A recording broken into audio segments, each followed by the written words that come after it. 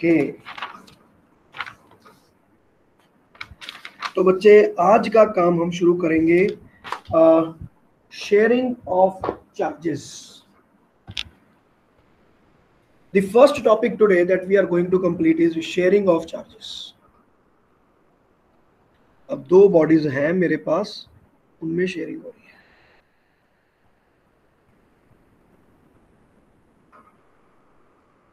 तो वैसे तो मैं इसका पूरे का पूरा कॉन्सेप्ट जो है शेयरिंग ऑफ़ चार्जेस का, कि दोनों का पोटेंशियल सेम हो जाएगा। वो हम इलेक्ट्रोस्टैटिक चैप्टर में पढ़ चुके हैं। लेकिन वो इलेक्ट्रोस्टैटिक पॉइंट ऑफ़ व्यू था, अब हम कैपेसिटेंस पॉइंट ऑफ़ व्यू से पढ़ेंगे, क्योंकि मैं अब एक, कल जो हमने पढ़ा था, हमने क्या पढ़ा? कि कोई भी सफेरिकल बॉडी मतलब बॉडी तो कोई भी हो सकती है but we have chosen spherical body इसको जब मैंने कोई चार्ज मैंने प्रोवाइड किया, ठीक है तो इसका एक सर्टेन पोटेंशियल इंक्रीज हो जाएगा और इसकी एक सर्टेन कैपेसिटी होगी। तो ये हम कर चुके हैं, ठीक है? और Q is equal to C V तक हम जा गए और एनर्जी भी हमने फाइंड कर लिया कि इसकी एनर्जी कितनी सेव हो गई हाफ़ सी वी स्क्वायर यहाँ तक हम कर चुके हैं। अब इसके साथ ही मैंने एक और बॉडी रखी और उसको मैंने यहीं पे, इसके बगल में यहाँ पे रख दिया। Let's this this is body two इसके ऊपर Q1 चार्ज था तो इसके ऊपर मैंने Q2 चार्ज दे दिया for the for now Q2 इसके ऊपर चार्ज है। This is also positive radius दोनों का दिखने में सेम है, लेकिन आप अलग अलग मान लेना। एक का रेडियस आर वन एक का रेडियस आर टू दोनों का रेडियस अलग अलग है सो व्हाट इज़ हैपनिंग ठीक है, अब मैं शेयरिंग करना चाहता हूँ और इन दोनों को मैं एक वायर के साथ में मैंने इसको कनेक्ट कर दिया। Like this so now what will happen charge कहाँ जाएगा, कैसे जाएगा, किधर जाएगा, क्यों जाएगा? पहले हम कर चुके हैं, दोनों का पोटेंशियल हमने इक्वेट किया था उसमें कंप्लीट कर दिया था, अब देखते हैं। अब यहाँ पर सबसे पहली बात बेटा ये है कि मेरे पास दो बॉडीज हैं, दोनों के पास चार्ज है Q1 और Q2 तो सबसे पहले तो मैं कहूँगा कि by the law of conservation of charge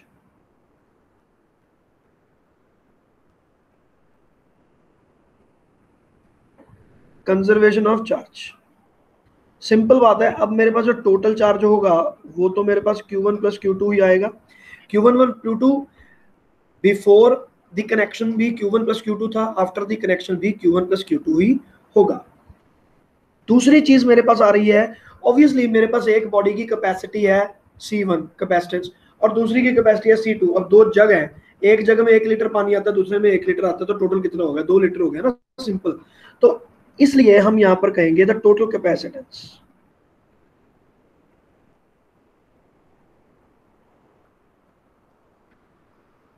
that will be equal to C one plus C two यहाँ पे, क्योंकि मेरे पास ये दो अलग अलग बॉडीज हैं, दो डिस्टिंक्ट बॉडीज हैं। तो ये मेरे पास हो गया C one plus C two total so now what will be the common potential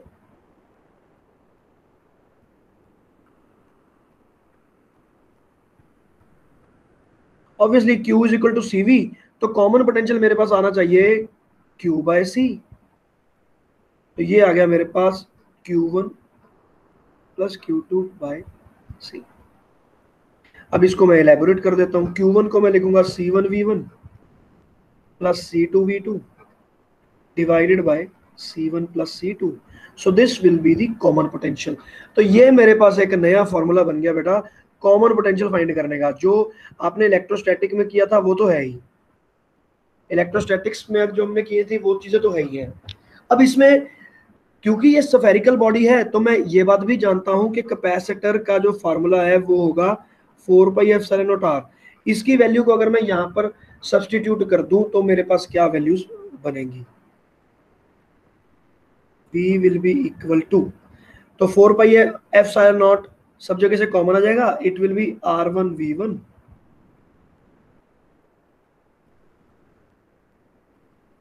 divided by R one plus R two ये हो गया जी आपके पास लो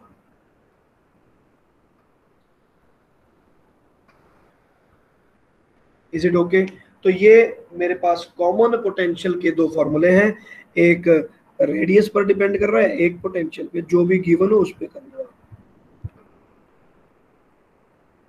common potential reached after sharing charge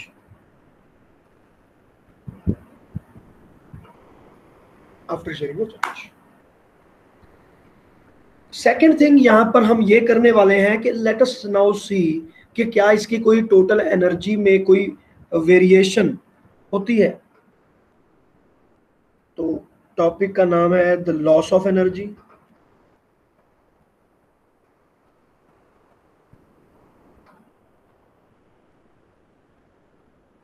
while sharing charge अब जैसा कि नाम है लॉस ऑफ़ एनर्जी तो हमें पहले ही पता चलेगा कि एनर्जी लॉस होगी, लेकिन क्यों होगी? अब देखो, कल भी मैंने आपको बताया था कि इस कैपेसिटर के केस में स्पार्किंग बहुत ज़्यादा होती है और वो होती ही होती है। तो आप कुछ भी कर लो, जब भी आप कनेक्शन क्रिएट करने की कोशिश करोगे तो स्पार्किंग होगी। आप कभी अपने प्लग में भी देखना, अगर आपने प्लग पहले ऑन करके रखा हुआ है तो इलेक्ट्रिसिटी ऑन है उसकी तो जब आप उसमें प्लग इनपुट करोगे तो आप कुछ भी कर लो स्पार्किंग हो गई होगा। अब आप कहो कि मैं बड़ी ज़ोर से लगा दूँगा, बड़ी जल्दी से लगा दूँगा, कुछ भी कर लो स्पार्किंग होगी ही होगी। तो वो जो कॉन्सेप्ट है, अब हम उस पर देखते हैं। Okay so energy on the first capacitor will be given by energy on the second capacitor initial energy common potential अब आपके सामने है तो अगर मैं आपसे पूछूँ कि now what will be the total energy after this तो आप कहोगे सर सी सी इक्विवेलेंट लिख देता हूँ इनटू कॉमन पोटेंशियल की स्क्वायर तो इसमें वैल्यू मैं पुट कर देता हूँ।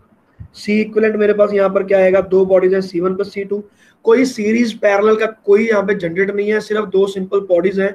बिल्कुल इस प्रकार से जैसे दो बाल्टियाँ बड़ी हो। ठीक है ना? तो ये C one plus C two आ गया और कॉमन पोटेंशियल की स्क्वायर कर देंगे।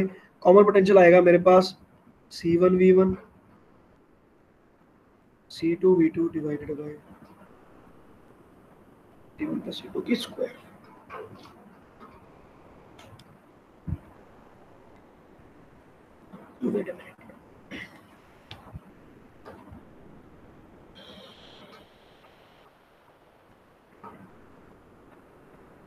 ठीक है जी तो अब इसको आ, इसकी C1 प्लस C2 की स्क्वायर है वो कैंसिल हो जाएगा। And this will come out to be या फिर हम ऐसा करते हैं, अभी नहीं हम करते, इनको हम माइनस करते हैं। Now we want to see what is the change in energy so change in energy will be U minus u1 plus u2 तो half into C one V one C two V two की square C one plus C two minus C one इनको हम solve करेंगे।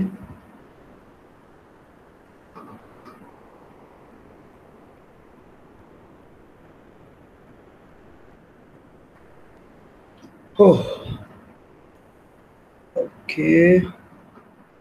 और half को मैं common ले लेता हूँ बिकॉज़ सब जगह भी आ रहा है। और C one plus C two जो है, उसको मैं एल्शियम ले लूँगा। तो minus C one V one square multiply calculation थोड़ी सी गड़बड़ हो रही है, इसको ध्यान से, ठीक है ना?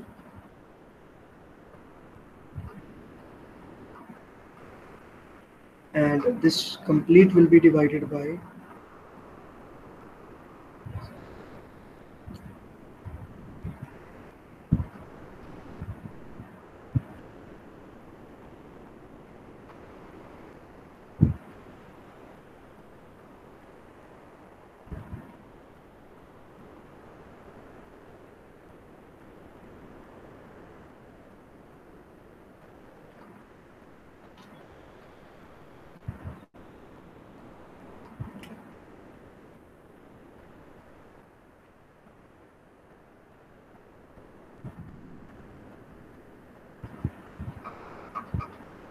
बहुत बड़ी क्वेश्चन बन गई।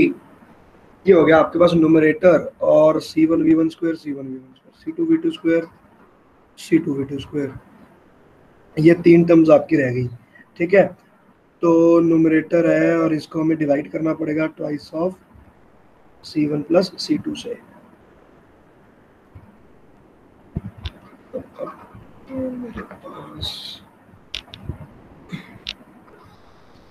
हम्म। क्या कॉमन आ रहा है?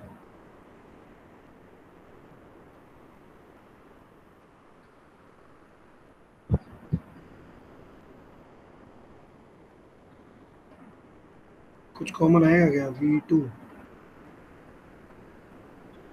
हम्म, चलो, इसको हम डिवाइड कर देते हैं। C one plus V two से।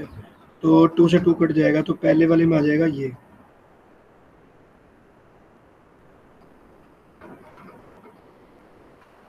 ये वाला जो है, ये वाला, इसमें तो ये चीज़ बन गई। और इनमें भी मैं ये वाला डिनोमिनेटर से मैं इसको डिवाइड कर दूँगा तो ये आ जाएगा minus C one C two common ले लो।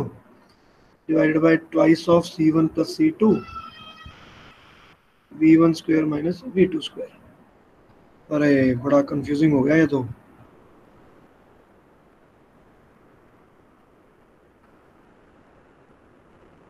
टू ऊपर, टू नीचे। हाफ़ से मल्टीप्लाई कर दो C one C two divided by C one plus C two यहाँ पे ले आओ। अब देखो मेरी ब्रैकेट में क्या बचता है। Twice of V one V two minus V one square oh sorry इसको प्लस कर तो ओके okay. मैंने यहाँ पर एक छोटी सी गलती की। क्या किया मैंने? डेल्टा यू जब निकाला मैंने फाइनल माइनस इनिशियल किया था तो लॉस है। तो फाइनल तो ऑब्वियसली नेगेटिव आएगा ना तो माइनस आएगा यहाँ पे। तो बस गलती भी नहीं है, उल्टा पता चल गया कि ये लॉस है। तो मैंने माइनस यहाँ पे कॉमन ले लिया।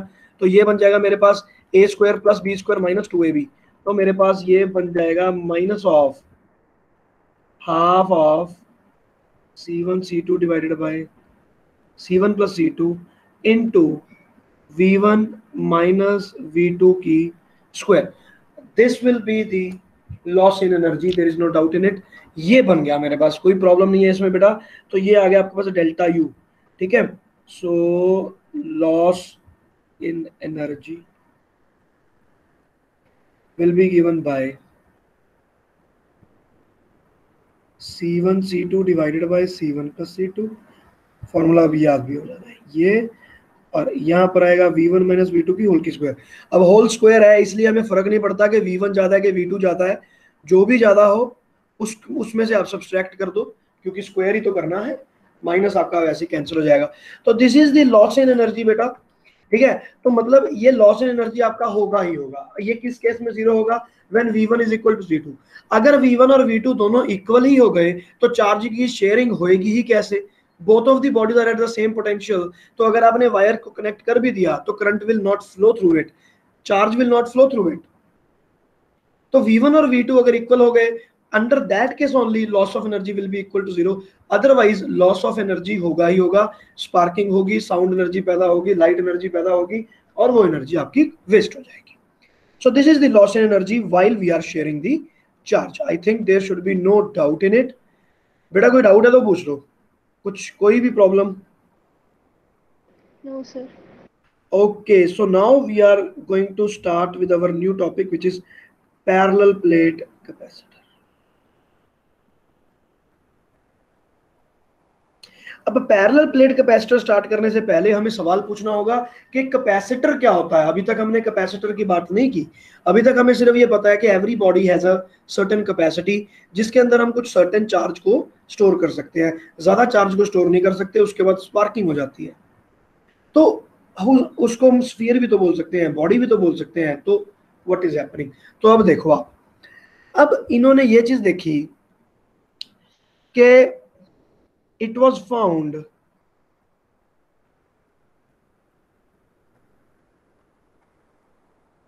That if a body neutral or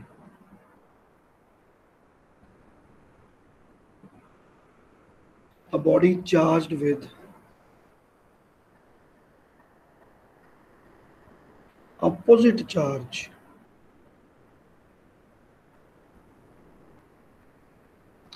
is placed nearby nearby uh, the spherical body or spherical body meaning the nearby the body storing the charge the capacity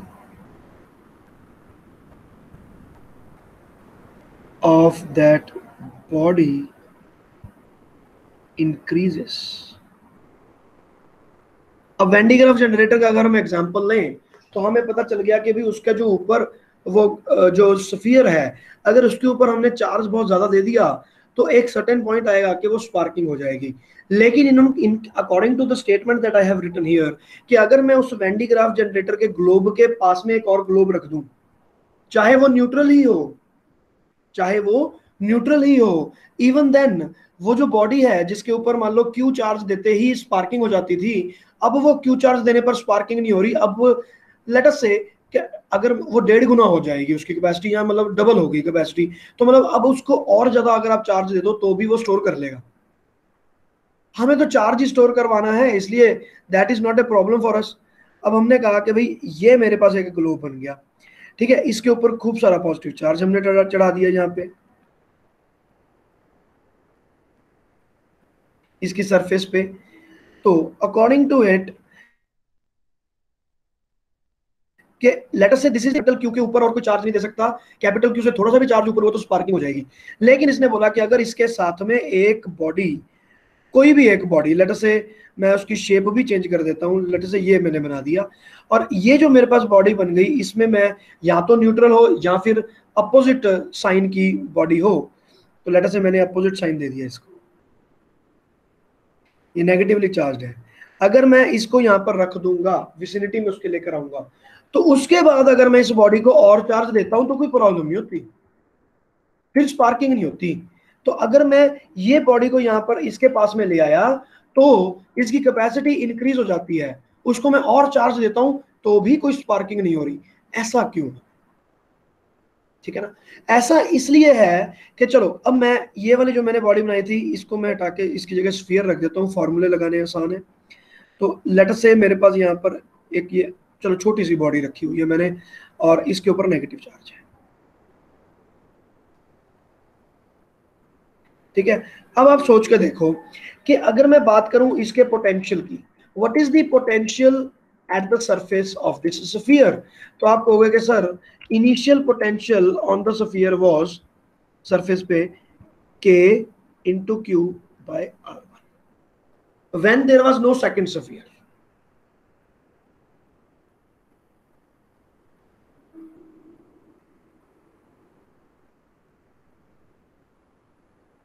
second body was not present there अब second body है और मैंने second body को भी charge दे रखा है। तो अब मैं अगर इसकी सरफेस पर पोटेंशियल फाइंड करने के लिए आपको बोलूँगा तो ऑब्वियसली यहाँ पर v1 वन प्लस वी करके टोटल v फाइंड करना पड़ेगा। तो इसका मतलब ये हुआ, v final will be v1 one plus V two V one plus V two तो अगर मैं इसके माइनस साइन को भी इंक्लूड कर लूँ तो ऐसे लिखेंगे, चलो रैंड दो कंफ्यूजन हो जाएगा। माइनस चार्ज भी है ना। तो मैं यहाँ पर माइनस साइन नहीं ले रहा हूँ, ठीक है? इसको ध्यान रखना। अब वी वन वी टू आ गया। तो पहले का केस तो मेरे पास यही वाला हो गया कि भी पहले वाले केस के कारण, ये आर वन क्यू वन के कारण। लेकिन अब सेकंड का भी तो मुझे लेना पड़ेगा। सेकंड के कारण इसका पोटेंशियल माइनस हो गया।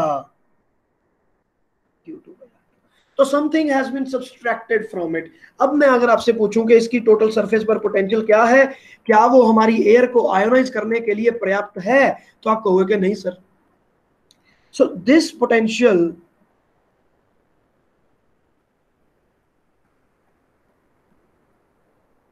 is not enough for ionization of air around the sphere around the sphere so sphere ke around this potential is not enough for the ionization of the air जो उसके around है अब ionisation हो नहीं रही इसका मतलब है more charge can be given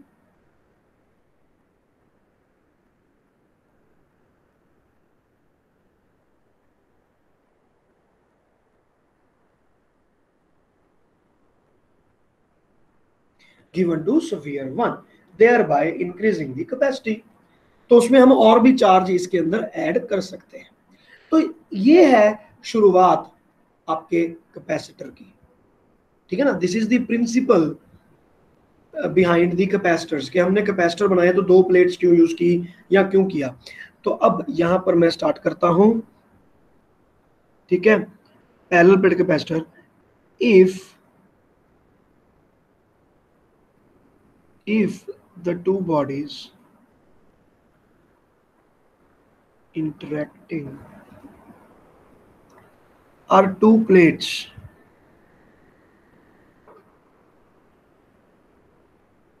having equal and opposite charge ये कंडीशन ज़रूरी है बेटा। इक्वल एंड अपोजिट चार्ज ठीक है? The system is known as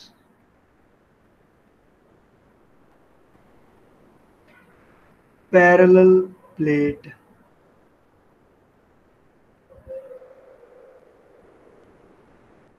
Capacitor parallel plate capacitor ज़रूरी नहीं कि हमारे पास सिर्फ़ पैरेलल प्लेट्स कैपेसिटर ही होगा।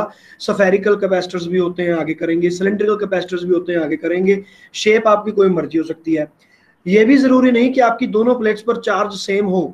In magnitude equal and opposite opposite तो होगा ही, लेकिन क्वांटिटी सेम हो, ये भी कोई ज़रूरी नहीं है। अगर अलग अलग होगा तो भी चार्ज तो स्टोर हो ही जाएगा। But it will not be known as parallel plate capacitor हम उसको नहीं कहेंगे। पैरेलल प्लेट कैपेसिटर का मतलब है दो plates which are completely same in size identical plates ठीक है? Having equal and opposite charge ठीक है ना? यहाँ पर लिख दो identical two plates which are identical तो इसको हम बोलते हैं पैरेलल प्लेट कैपेसिटर तो पैरेलल प्लेट कैपेसिटर आपको कुछ इस तरह से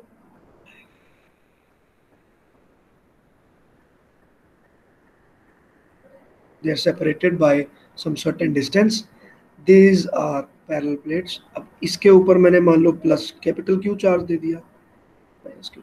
तो माइनस क्यू एक्चुअली मैंने दिया नहीं है. इस बात को आपने याद रखना बेटा. यहाँ पर गड़बड़ क्या है? यहाँ पर मैंने इसको अर्थिंग किया अर्थिंग की तो मेरा तो कुछ लगा ही नहीं। मैंने एक यहाँ पे प्लेट रख दी और उसकी तार को ज़मीन के अंदर डाल दिया तो मैंने तो कुछ किया ही नहीं। और इस प्लेट को मैं चार्ज दे जा रहा हूँ, दूसरी वाली प्लेट को, इस वाली प्लेट को। मैंने कैपिटल क्यू चार्ज ले दिया और इसने क्या किया? अर्थ से अपने आप ही नेगेटिव चार्ज अट्रैक्ट हो गया और इसके ऊपर अपने आप ही माइनस क्यू चार्ज आ गया। हमने तो कुछ नहीं किया। अब इसके माइनस क्यू चार्ज के कारण इस प्लेट का पोटेंशियल रिड्यूस हो गया now more charge can be given तो आप और चार्ज दे दो तो यहाँ पर और चार्ज यहाँ पे आ जाएगा। ठीक है? तो इस तरह से जो भी आपकी नई लिमिट बनती है, वो आपके पास यहाँ पे क्रिएट हो जाएगी। So this is the way in which we can create capacitors which can store more charge चलो जी। तो ये जो पैरल प्लेट्स हैं, ये स्क्वायर हो सकती हैं सर्कुलर हो सकती हैं, इनका कोई भी क्रॉस सेक्शन हो सकता है। So A will be the cross section area and the distance between them is known as T is denoted by T ये हो गया मेरे पास डी तो ये मेरे पास बनता है parallel plate capacitor is parallel plate capacitor. And what is the symbol for this? Symbol तो आपको पता ही होगा तो ये बन गया। आपके पास तो इसको हम सी लिखते हैं और ये मेरे पास कैपेसिटर बन गया। This is parallel plate capacitor तो अब देखते हैं कि इसके कैपेसिटेंस का फॉर्मूला क्या बनता है। ठीक है ना?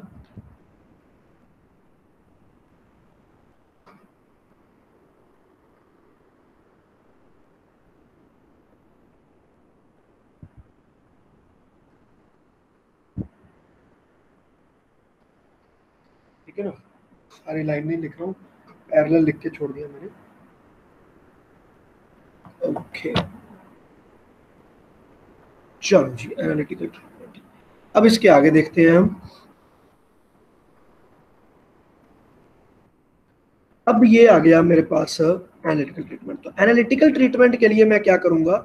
ये मेरे पास रहा electric field sorry parallel plate capacitor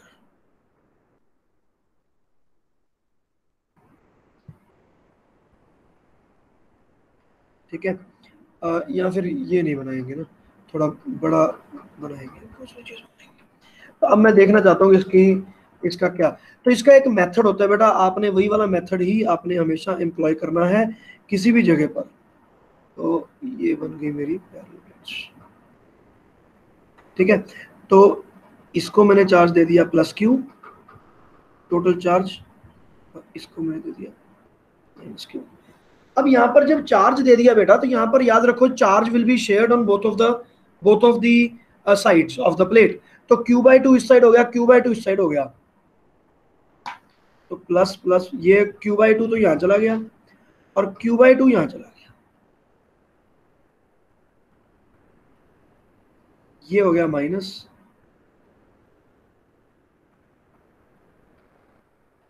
दोनों तरफ़ आपके माइनस रहेगा। तो अब हम देखते हैं कि इसमें मुझे जो फॉर्मूला बनाना है, वो हम कैसे बनाएँगे। Now I have divided this area into three zones zone A zone B and zone C तो ये एक इसका सेट मेथड है बेटा, आपने यही वाला मेथड आपने फॉलो करना है हमेशा। कोई भी अगर कैपेसिटर कोई और होगा ना तो भी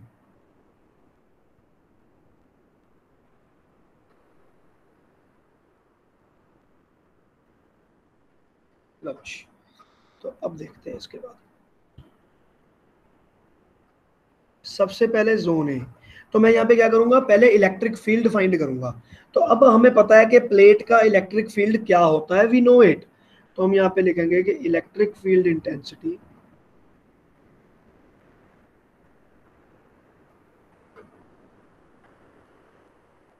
for a plate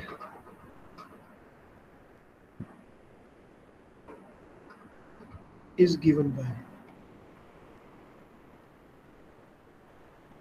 sigma by 2 epsilon naught. Sigma by 2 epsilon naught. तो ये आपके पास आ गया। जनरल फार्मूला है। ये टू पे मैंने क्यों डिवाइड किया? क्योंकि यहाँ पर क्यू बाई टू हो जाता है। टोटल चार्ज क्यू है। हाफ़ इधर हो गया और हाफ़ इधर हो गया। गॉस लॉ मैंने पहले करवाया था। इलेक्ट्रोस्टैटिक्स को आपको दोबारा से एक बार देखना पड़ेगा अगर इसमें कोई डाउट है तो। तो दोनों तरफ़ से मेरे पास इलेक्ट्रिक फ़ील्ड हो गया। तो एक इलेक्ट्रिक फ़ील्ड अगर मैं जोन ए की बात करूँ तो there is an electric field in this direction and this electric field is having a constant value sigma by 2 epsilon naught there is no doubt in it. ठीक है? अब ये वाला जो चार्ज है, जो इस साइड पे राइट हैंड साइड पे प्लेट पे है, ये वाले के कारण हमें कोई प्रॉब्लम नहीं है। इसका इलेक्ट्रिक फ़ील्ड दूसरी तरफ़ जाएगा। तो मुझे तो जोन ए को देखना है।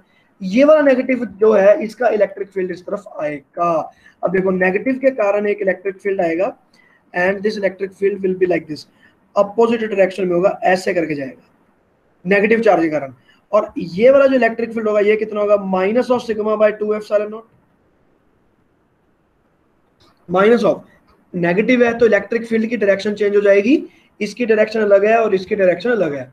दोनों की अपोजिट डायरेक्शन है। यहाँ पर भी क्यू बाई टू है, यहाँ पर भी क्यू बाई टू है सिग्मा दोनों का सेम है एरिया प्लेट सेम है तो ये बिल्कुल सेम हो गया। तो अगर मैं जोन ए की बात करूँगा और मैं यहाँ पर देखूँगा E net so that will be coming out to be sigma by two epsilon naught minus sigma by two epsilon naught and answer will become zero ठीक है? तो ये हो गया आपके पास जोन ए अब आ जाओ आप जोन ठीक है?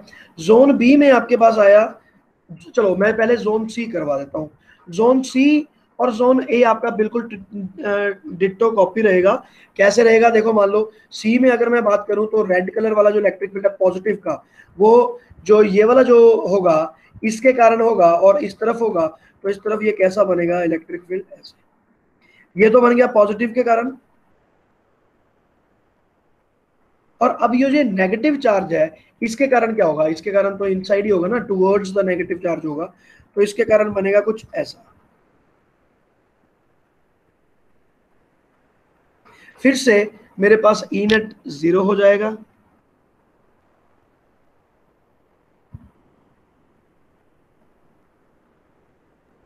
And this will become zero अब रह गया मेरे पास सिर्फ़ एक जोन बी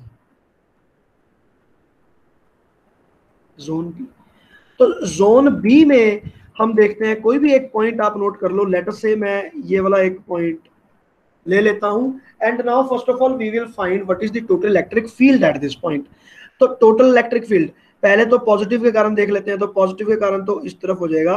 तो लेटर से ये हो गया मेरे पास सिग्मा बाय टू एफ़ नो डाउट अब नेगेटिव के कारण क्या होगा? अब ये वाला जो चार्ज है पॉजिटिव साइड वाला, ये वाला लेफ़्ट साइड वाला। इसको तो मैं कंसिडर नहीं करूँगा। और ये वाला जो नेगेटिव चार्ज है राइट साइड वाला, इसको भी कंसिडर नहीं करूँगा। सिर्फ़ ये वाले और ये वाले को कंसिडर करेंगे, बीच वाले को। तो इस वाले क्यू बाय टू के कारण ये वाला आया इलेक्ट्रिक फ़ील्ड नेगेटिव के कारण क्या आया? नेगेटिव के कारण बिल्कुल सेम आया और वो भी आया इस ही तरफ़। क्योंकि अब नेगेटिव इस तरफ़ चला गया। तो ये भी मेरे पास हो गया sigma by two epsilon naught तो अब मेरे पास दोनों हो गए यहाँ पे। Is it okay same point पे दोनों का इलेक्ट्रिक फ़ील्ड एक ही डायरेक्शन में है। तो अब मेरे पास ई e नेट की अगर मैं बात करूँगा तो वो मेरे पास आएगा। Sigma by two epsilon naught plus sigma by two epsilon naught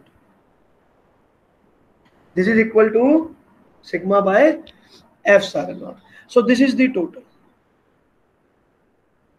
total electric field intensity inside the plates. तो अब मैं देखता हूँ कि इसमें कैपेसिटेंस फाइंड करना है। तो कैपेसिटेंस फाइंड हो सकता है Q और V के रिलेशन से। तो मुझे पोटेंशियल फाइंड करना पड़ेगा।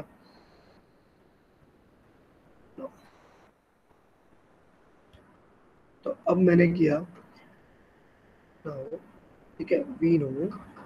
E is equal to minus dv by dr this is E ठीक है? Dv by dr तो माइनस रख दिया dv divided by dr dv को यहाँ रख लो माइनस को भी रख लो dr को वहाँ ले जाओ। Sigma by epsilon actually में कांस्टेंट वैल्यू है तो इसको तो इंटीग्रेट करना ही नहीं है, अलग ही रख लो। तो ये ऐसे होगा। अब आप सोच के देखो कि आर का मतलब है जो भी डिस्टेंस ट्रेवल हो रहा है। तो मैं इस पॉइंट से इस पॉइंट की तरफ़ जा रहा हूँ। इस पॉइंट से इस पॉइंट की तरफ़ जा रहा हूँ और इलेक्ट्रिक फ़ील्ड मेरा यहाँ पर कितना है? ई e है। वो मैंने वैल्यू यहाँ पर पुट कर दिया ऑलरेडी तो मैं यहाँ पर मैं पुट करूँगा इस पॉइंट से इस पॉइंट तो पहले मेरा डिस्टेंस क्या था? ज़ीरो था और अब मेरा डिस्टेंस हो गया डी डी डिस्टेंस तो पहले पोटेंशियल क्या था बेटा? यहाँ पर ध्यान से इस इस पर मेरे पास पॉजिटिव टर्मिनल है तो पोटेंशियल है वी यहाँ पर पोटेंशियल हो गया मेरे पास वी मैं इसको, चलो यहीं पे लिख देता हूँ वी और यहाँ पर पोटेंशियल हो गया काइंड ऑफ़ ज़ीरो क्योंकि अर्ध किया होता है? तो मैं इसको ज़ीरो ले लेता हूँ। तो ये हो गया मेरे पास यहाँ पर ज़ीरो आप V1 और V2 भी मान सकते हो। V1 और V2 विल बी बेटर मैं इसको V1 मान लेता हूँ, इसको V2 मान लेता हूँ। मान लो यहाँ पर हो गया ये माइनस ऑफ़ V2 तो मेरे पास ये चला जाएगा V2 वी वन से वी टू ठीक है ना? V one minus V two ले लोगे या फिर वी माइनस ज़ीरो कर दोगे, एक ही बात है। तो अब देखते हैं। अब V one is more than V two इसकी मैं लिमिट्स को चेंज कर दूँगा क्योंकि मेरे पास यहाँ पर माइनस निशान है। तो इसको मैं कैसे डील कर सकता हूँ बेटा? डीवी लिमिट्स को चेंज कर दो। वी टू कर दो वी वन कर दो। माइनस गायब हो गया। इसको जब मैं करूँगा तो ऑब्वियसली यहाँ पर सिर्फ़ और सिर्फ़ डी आ जाएगा और कुछ रहेगा ही नहीं। और यहाँ पर यह है। ठीक है तो ये मेरे पास आ गया यहाँ से। अगर मैं पोटेंशियल डिफरेंस देखूँ V one minus V two which should come out to be positive sigma into D by epsilon naught obviously अब मैं इसको ज़ीरो पुट कर देता हूँ वी टू को, बात एक ही है। तो वी टू को मैंने ज़ीरो पुट किया, ये आ गया v is equal to sigma को लिखा मैंने q divided by a basically हाँ सिग्मा आ जाएगा q divided by a into D divided by epsilon naught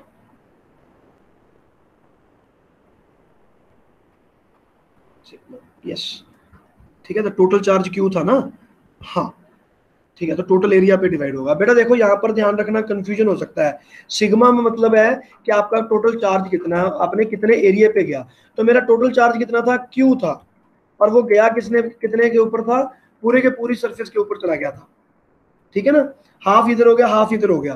तो एरिया भी आपका डबल हो जाएगा और टोटल क्यू भी हो जाएगा। ठीक है? तो ये आ जाएगा आपके पास क्यू बाय ए वेट मैं इसको और एक्सप्लेन करूँगा, रुक जाओ। तो ये बन गया। अब यहाँ से मैं कैपेसिटेंस फाइंड कर सकता हूँ। C is equal to Q by B F naught A by T लो जी, ये आपके पास बन गया फॉर्मूला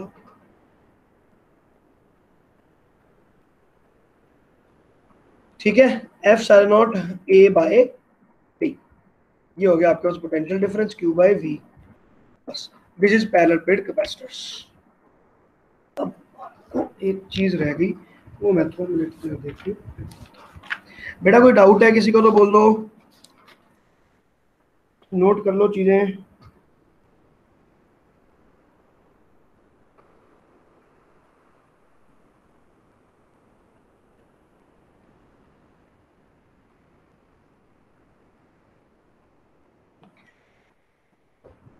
चलो, बस आज हमने इतना ही करना है। This will be the closing of the today's lecture let me see one thing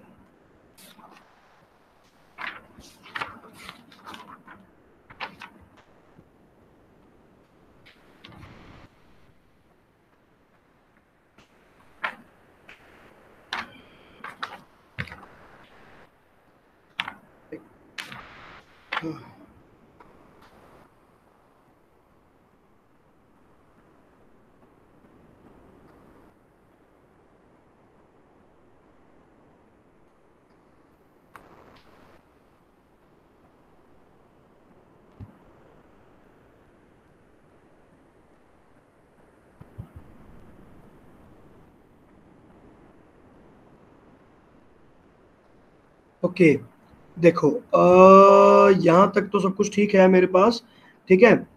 और इंटीग्रेशन में भी कोई प्रॉब्लम नहीं है, ये v1 और v2 हो जाएगा। ये सिग्मा यहाँ पर बेटा बस एक चीज़ को ध्यान रखना, ये sigma is equal to Q by A मैंने यहाँ पर लगाया। इसमें थोड़ा सा कॉन्शियस क्यू बाय ए जबकि जो मेरा जो क्यू चार्ज है वो शेयर हो गया था। क्यू बाई टू इधर हो गया था क्यू बाई टू इधर हो गया था। ठीक है? हाँ ठीक है ना? बिल्कुल सही है। बेटा देखो ये आ गया मेरे पास सिग्मा तो सिग्मा क्यू बाई ए आएगा। बेसिकली होगा क्या मेरे पास? एरिया जो है आपके पास वो डबल हो गया। दोनों साइड पे। तो एक साइड पे आपके पास ये क्यू क्यू चार चला गया। hmm, मैं फिर से confuse okay wait a minute I will tell you tomorrow ठीक है? लेकिन है ये बिल्कुल करेक्ट थोड़ा सा मैं कंफ्यूज हो रहा हूँ फिर मैं वो आपको देख के बताता हूँ। तो ये मेरे पास एक फॉर्मूला बन गया। This is the capacitance for the parallel plate capacitor this is where we close the today's lecture बच्चे इसमें अगर आपको अभी तक यहाँ पर इस पॉइंट के अलावा कोई और डाउट है तो देख लो। है कुछ प्रॉब्लम सर हमने यस सर सर हमने वहाँ पे इंटीग्रेशन क्यों की अगर हम सिंपल ये वाला फॉर्मूला लगा दे potential is equals to E into delta R नहीं तो डेल्टा आर का, नहीं, जो डेल्टा आर आता है ना बेटा आपके पास, वो आता कहाँ से? वो इंटीग्रेशन से ही तो आया तो ये डेल्टा आर ही तो है। Basically E is equal to minus DV by D R is the basic formula उसको जब आप इंटीग्रेट करोगे तो आप डेल्टा की तरफ़ जाओगे। आप समझे मेरी बात? Sir one is the same thing integrate करके ही डेल्टा आता है। आप अब जैसे इसको मैं डेल्टा वी भी लिख सकता हूँ डेल्टा वी इंटीग्रेट करने की रिक्वायरमेंट नहीं है। डेल्टा का डेल्टा वी का मतलब क्या है? V two minus V one delta R का मतलब है R two minus R one बात वही आ गई। तो ये आपके पास आ गया। Is it okay yes sir और कुछ? नो डाउट्स चलो। नो सर चलो फिर आज के लिए इतना ही। बाकी चीज़ें हम करते हैं बाद में। All the best bye thank you sir okay बेटा बाय